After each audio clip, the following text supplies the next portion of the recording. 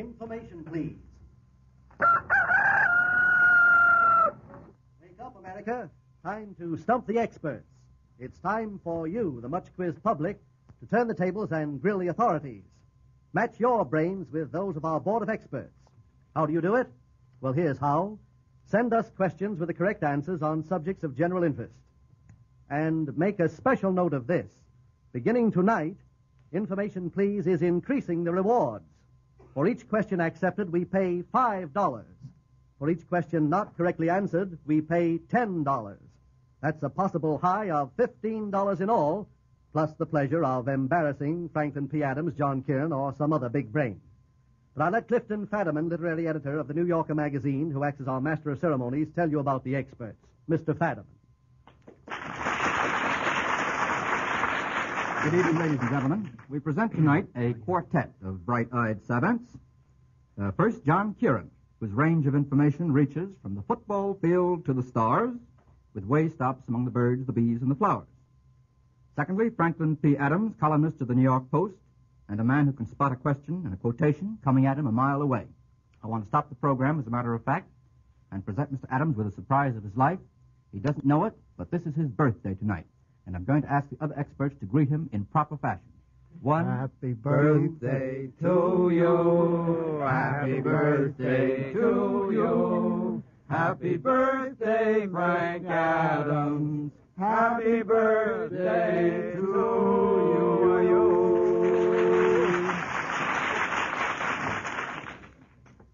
Now, Mr. Oscar Levant has no birthday song coming to him. He's a composer and pianist who is gradually picking up quite an education for himself on these programs. And our guest of honor this evening is John Gunther, internationally famous foreign correspondent, author of Inside Europe and of a forthcoming book, Inside Asia. Now, ladies and gentlemen, the rules are simple. If these experts know the answer, they will have to raise their hands, just as in school. You remember school. If the answer is incorrect, the cash register will ring up $5.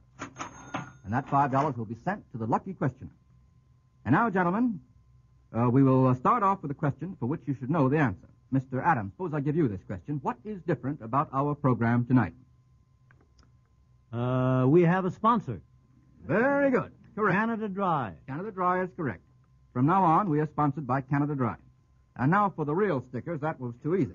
the first question comes from Mr. H. Russell of Chicago. I'm going to ask you, gentlemen, to give five typical remarks made by the guests or hosts after the guest's departure. You know, guests come and they go. Sometimes it's the second part that's the nicest thing about them. Uh, what do you say after they've left? Or what do they say after they've left? Mr. Gunther. Any idea? That fellow certainly liked scotch. Yes, that's a very good one. That's one. Thank you, Mr. Gunther. Uh, Mr. Levant. I'll never have that Oscar Levant here again. Very good, Mr. Levant. Mr. Kieran. I thought they'd never go home. Yes, I think that's the most popular of all. That's three. Two more. Mr. When do we Kieran. have another party? I beg pardon, Mr. Gunther? When do we have another party? That's a nice, sweet one. I'm very glad to get someone to give us a good-natured cliche. Uh, Mr. Kieran. Where do you suppose she ever got that dress? Very good. The one that uh, we use most frequently at my house is, didn't we give them veal the last three times? Very good. Second question. From Jonathan Goldberg of New York City. Now, gentlemen, I ask you to look out for the concealed puns in this question. Now, you're all punsters of old standing, particularly Mr. Adams. Watch out. Identify from the following poems the famous persons indicated. Now, there are three poems. I'll read them one at a time. One. Way up in the north, where the climate is shivery, he burst into fame by a special delivery.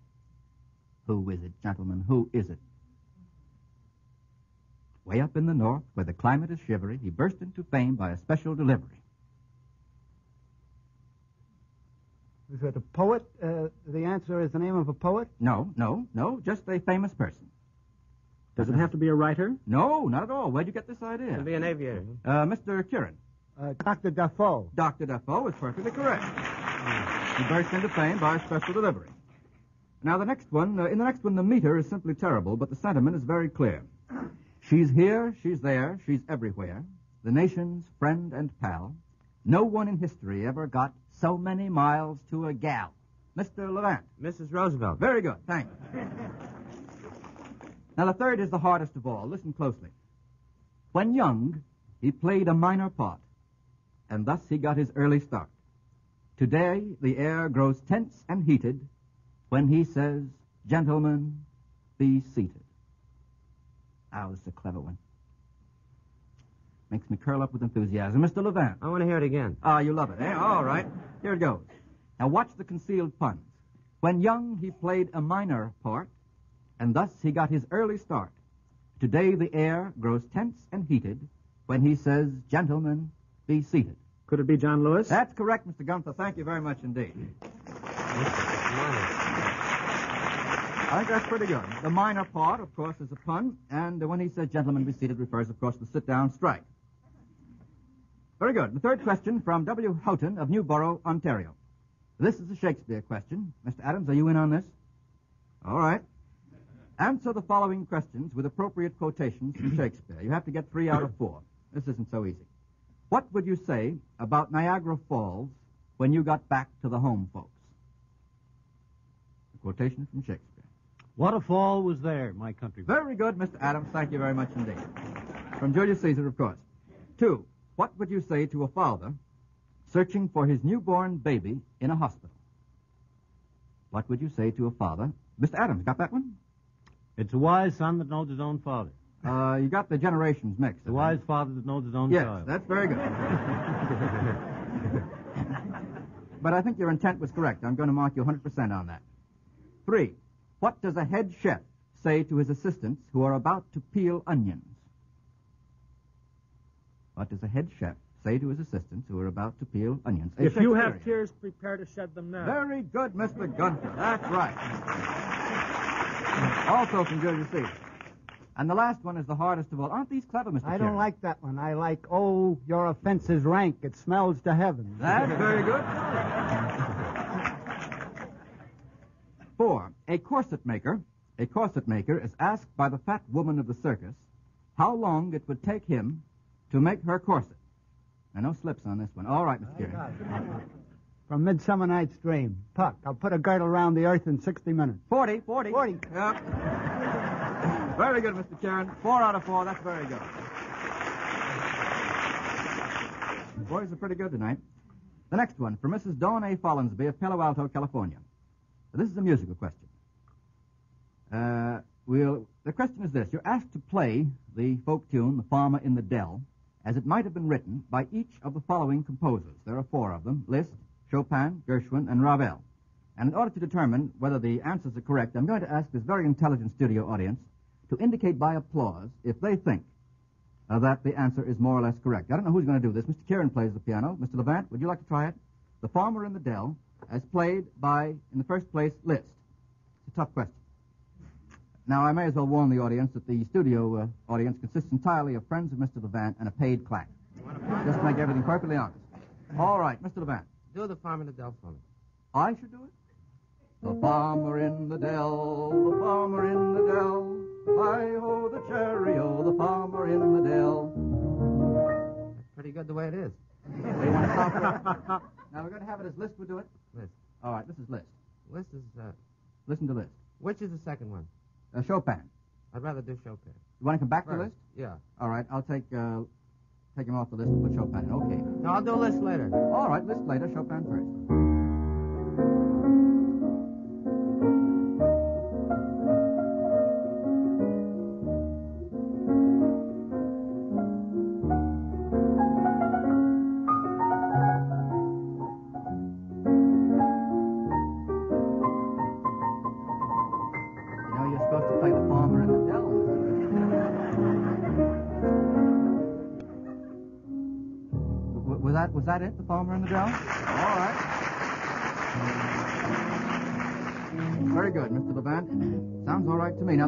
Next one would be George Gershwin.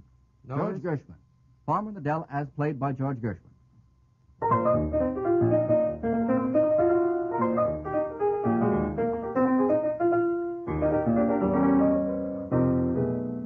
Farmer in the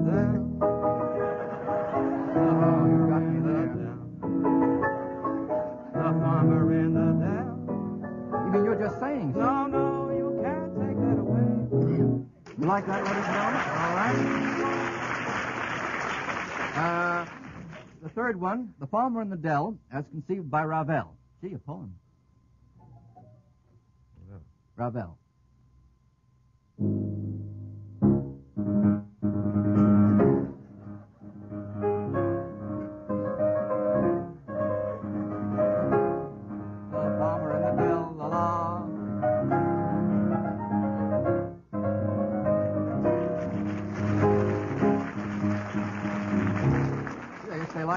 Now, do you want to come back to Liszt?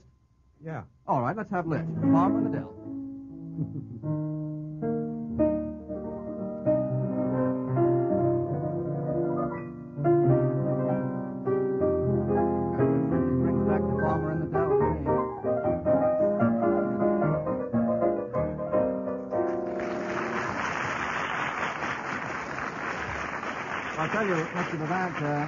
they seem to like this so much, there's nothing to stop you from uh, giving us the farmer in the dell as Levant would do it.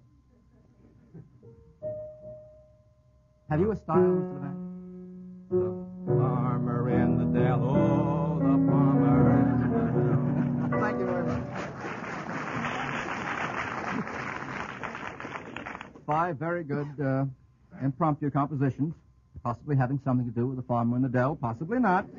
I hope Mr. Dawn A. Follinsby is as satisfied as the studio audience seems to be. The next one from uh, Mary Hill of Miami, Florida. What news event does each of the following figures bring to mind? I have to get four out of five. One, 19 to zero. 19 to zero. Uh, Mr. Kieran, Well, uh, three or four football scores. uh, which one, particularly? Well, most it was um, Minnesota, uh, North uh, Notre Dame. That's right. Who won? Why, Notre Dame. Well, I have to know. That, ladies and gentlemen, is the first question we've ever had on this program dealing with a college education. Now, the next one, uh, 100 million yen.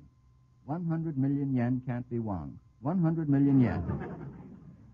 100 million. Mr. Gunther. Well, it's probably a mild estimate as to the amount of the Japanese deficit in the next budget. Uh, well, you, you have me there. You know probably know more about the budget than I do, but I think it represents a specific amount that's been in the papers recently. Uh, Mr. Levant, how I'm you to read guessing. the papers? All right, go ahead and guess. Well, they've reduced the length of the matches in Japan, I hear. Maybe they'll save that on that. I don't know. It's an idea. It's an idea, but I don't think that's what it refers to. I was guessing. Yeah, I got that. I got that. As a, com- as a guesser, you're a very good composer, Mr. Levant. No, it's the it's the uh, capitalization of the newly formed Central Development Company, as announced in Tokyo, which is going to reconstruct the devastated area in China. Would that be right now, Mr. Gunther? I'm sure it would be. All right. That's one wrong. Now we have to get the next three right. What uh, news event does the following figure bring to mind? 10,000 soldiers. 10,000 soldiers. Mr. Gunther. Oh, the number of Italian troops withdrawn from Spain. Yes, uh, volunteers, not troops. Volunteers. Volunteers in Yes, of quotes. course. Yes. Vol- voluntary withdrawals. 10,000 voluntary withdrawals from the Spanish War. That's quite correct. Uh, four, $75,000. $75,000. I wish your eyes would stop glistening, gentlemen. Just keep, uh, just pay attention to the question. That's all. That's right, Mr. Adams? The amount of money guaranteed to Donald Budge for going professional. That's right, Mr. Adams. Mr. Adams, I should tell you, is, among other things, a professional tennis expert. I've seen him play in shorts. Remember that time I saw you play in shorts, Mr. Adams? Oh, yes. Yeah. And uh, the next one, we have to get this one right. 81. What does 81 bring to mind? 81. Don't tell me it's the square of 9. 81. That's not dollars, just 81. Just 81. Uh, Miss Mary Hill of Miami, Florida is waiting for her $10 this time. One, two, three. I'm sorry, gentlemen, that's going to cost us $10. 81 represents the increase in the number of Republicans elected to the House of Representatives. You remember, over the last Congress. The new total is 170, uh, compared with 89. Now we're back on a nice two-party system again, quite out of step with the rest of the world. The next question from Mr. J. Crawford of Houston, Texas. Well, we've done this once before and it was terrible. Let's see if we can keep our record up. I'm going to ask you, gentlemen, to sing in four-part harmony uh, the first lines of the chorus, or the best-known lines, from each of the following well-known songs. Now, Mr. Levant, no whistling. You either sing or resign. Do you want to resign? and I'm going to ask Mr. Milton Cross, acting as our musical authority pro tem, to judge whether this four-part harmony is really four-part harmony, or just guessing? the first one that you'll have to sing is Silver Threads Among the Gold. And uh, I will say three, and then you can start. How do you know what, Who what you are? key to be in? I haven't the slightest idea. Pick a key. Darling, I am a growing older. Yes, th- uh, how would that do? That sounds terrible. No good. Don't like that. No. Mr. Adams, pick a key. Pick a key. It's your That- that birthday. key's all It's right. your That'll be birthday. right. You think you gentlemen want to try it? Darling, I am growing old. Let's keep it up. Who's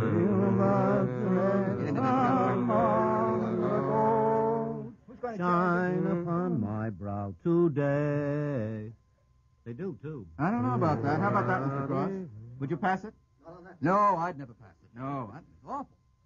Uh, two, sweet and low. Maybe do better on sweet and low. I don't even know the You song. want to lead it, Frank? No. Well, I'll You give that one up?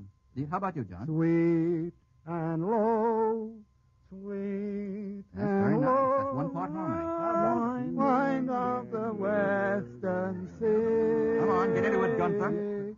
Can't get I that man, can't Gunther. sing. Can't sing. I know, but you don't have to prove it I so think the most, most merciful thing to do would be to ring up ten dollars Yeah. quickly. I feel like ringing up twenty-five dollars. I've never been so convinced of the truth of Keats's famous line. Do you mind if I introduce a line from Keats, Mr. Kieran? no, sir. Thank you. Heard melodies are sweet, but those unheard are sweeter. Thank you very much. Now, what is our loss so far? Our loss so far is twenty dollars. Now, let me see. Twenty dollars, and now, Mr. Milton Cross, we're going to allow you one minute and one minute only as our Canada Dry expert. All right? All right, Mr. Fadiman. Thank you. Many of us may remember an advertisement carrying the headline, Down from Canada came tales of a wonderful beverage. This advertisement appeared about 15 years ago and announced the arrival of a new beverage, Canada Dry Ginger Ale. And soon, this remarkably fine ginger ale changed the nation's taste. Its popularity was brought about through the use of exacting precautions in purchasing fine ingredients in heretofore unheard of methods of blending and carbonation. But more important, it was a delicious, distinctive beverage that soon won the description the champagne of ginger ales. Fifteen years ago is a long time, but nothing has altered the refreshing flavor of sparkling Canada Dry ginger ale, even though today Canada Dry is selling at by far the lowest prices in its history. Mr. Cross, that was only 51 seconds. Very good, very good indeed. And thank you very much. Now we'll go on to the next question, which comes from Mr. J.E. Manzer of Brantford, Ontario. Uh, Mr. Manzer wants you to identify the following people prominent in the recent news. You have to get four out of five. Now, these names are very difficult for me to pronounce. Uh, I want to announce that Information Please is not responsible for pronunciation, and any broken accents will not be replaced by the management. One, Ismet Inonu. Ismet Inonu. Mr. Gunther. He's the new Turkish uh, president uh, selected to succeed Kemal Ataturk. His That's- name used to be Ismet Pasha. That's quite correct. Thank you very much, Mr. Gunther. Two, Wu Pei Fu. He's a Chinese warlord. I have to have a little more information that practically everybody's a Chinese warlord. Not nowadays, but uh, he was uh, traditionally the boss of Shenxi province, and who probably will have negotiations with the Japanese. The Japanese keep on much longer in that area. Uh, yes. What, what would his politics be? How, how would he uh, be as a? Uh, I mean, would he be for the nationalist government, Chiang Kai-shek's government? Depends on who pays him the most, I suppose. Well, I'm not sure that you're not quite correct. I have here that he's the anti-communist Chinese general, and he's to be head of the new Japanese puppet state in China, centered in Canton. I don't think that can be official yet. Well, uh, information, please, of course, has sources of information not open to mere foreign correspondents. I think I'm going to, uh, if you don't mind, Mr. Gunther, uh, mark you wrong on that one because the information was not as accurate as uh, our high standard requires. Though you were doing nicely. Wu Pei Fu is exactly as I have explained. It'd be a godsend to crossword puzzles. Wu Pei Fu is marvelous. The next one. Hajj Amin El Husseini. All right, Mr. Gunther. Grand Mufti of Jerusalem, the leader of the Arab revolt in Palestine. That's quite correct. What is and a I mufti? know I'm right about You're that. all right. What, what is a mufti? A mufti, theoretically, uh, is a name for a purely spiritual quality. It's the head of the local church uh, in a Muslim parish or diocese. Technically, it has no political authority. I see. Thank you very much indeed. Now, if I can get the next one. I suit. beg pardon, Mr. Levant. Isn't that what we're dressed Yeah, in? we're dressed in mufti. Are Dinner you? yeah. Oh, isn't that Not nice the of same them? kind of All mufti dressed as in mufti Hashemi. tonight in honor of Mr. Adams' birthday. Uh, the next one, I don't think I can pronounce at all. I'll see if I can uh, sneeze it through for you. For František Chvalkovsky. Oh, he's the new Czechoslovak foreign minister. How did you know what I was talking about, Mr. Gunn? That's Practically correct. all names in that part of Central Europe have to be sneezed. That's right. Five. And last, we only have one wrong so far. Albert de Vleeschauwer. De Vleeschauwer. De Vleeschauwer. De Vleeschauwer. Take your choice. Once more. Oh, well, I'll spell it. B-L-E-E-S-C-H-A-U-W-E-R. Vleeschauwer. Sounds like Levant to me. As played by Levant, yes. Vleeschauwer. Know that one?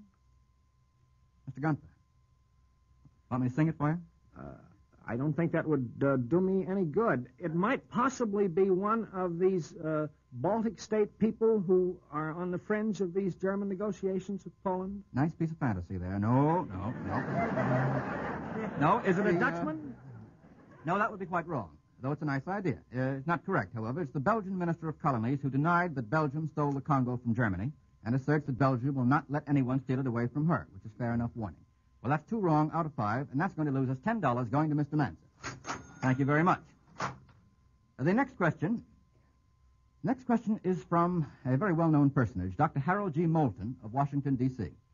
Uh, Dr. Moulton, as many of you probably know, is president of the Brookings Institute, one of the leading research organizations of the country.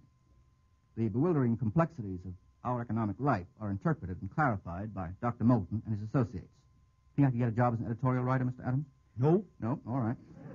Uh, as a matter of fact, you may probably be aware that government officials and businessmen often base their policies upon the authoritative findings of the Brookings Institute and Dr. Moulton.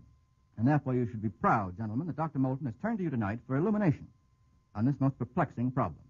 To wit, uh, name four heavyweight boxing champions who had identical first names and middle initials. Uh, Mr. Adams first. James J. Corbett, That's one. Joseph James Tunney, Joseph James Tunney. Uh, they have to have the, the identical first name oh, and middle initial. That's one. So James far. J. Jeffries, James J. Jeffries is two. Uh, Mr. Gunther? James J. Fitzsimmons. That's Robert. Fitzsimmons. Robert. No, that's Fitzsimmons. wrong. I'm James- afraid that's going to James cost J. Braddock. Ten. I beg pardon. James James J. Braddock, Braddock is yeah. three. We have one wrong answer so far. Now the fourth, Mr. Kieran, you really ought to know.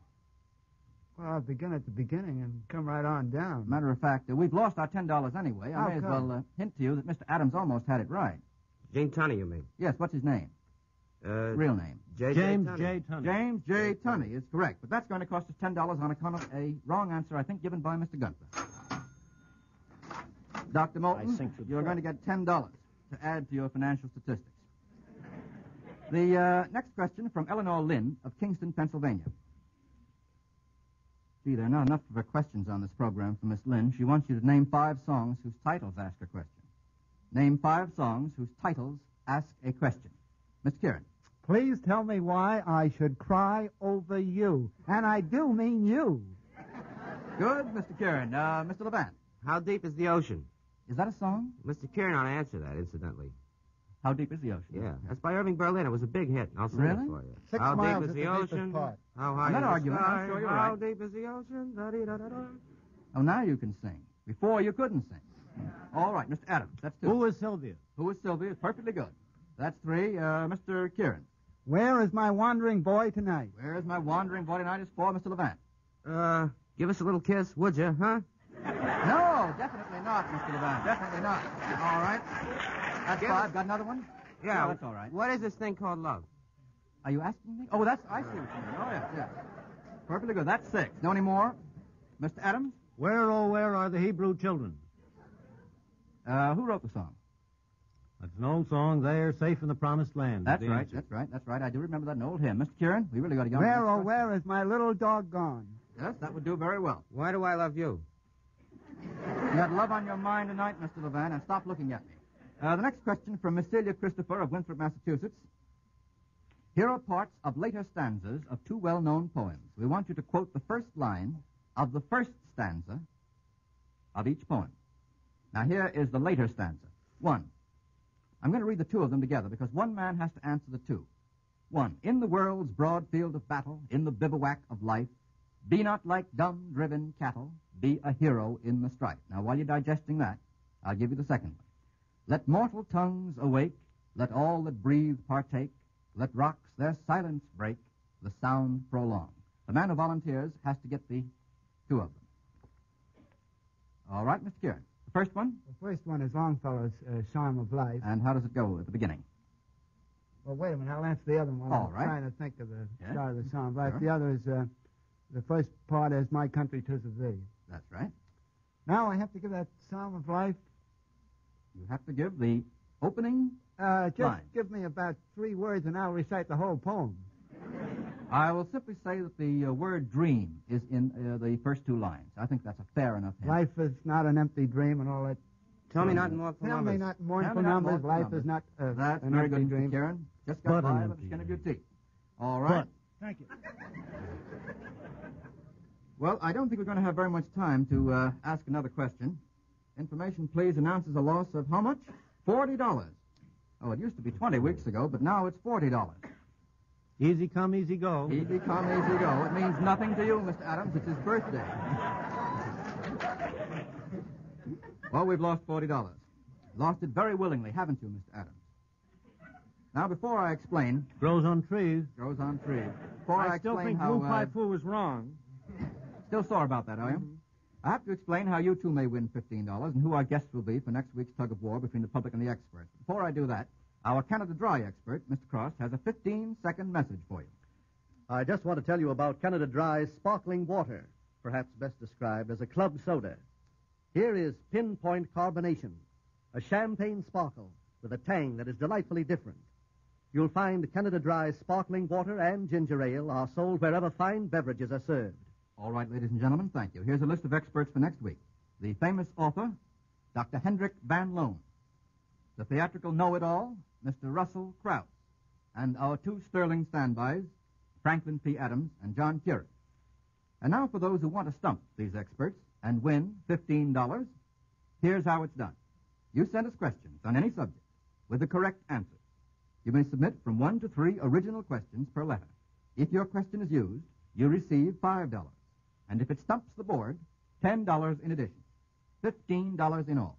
And don't get too hot and bothered if our editorial staff changes or edits your question slightly. All questions become the property of Information Please, and letters are to be addressed to Information Please, Canada Dry, 1 Pershing Square, New York City.